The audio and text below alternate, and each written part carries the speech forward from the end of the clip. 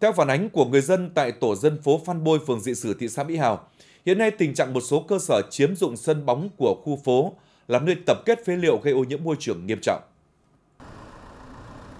Việc chiếm dụng sân bóng làm bãi tập kết phế liệu gây ô nhiễm môi trường nghiêm trọng. Điều đáng nói, khu vực trên lại nằm ngay trước cổng trường mầm non dị sử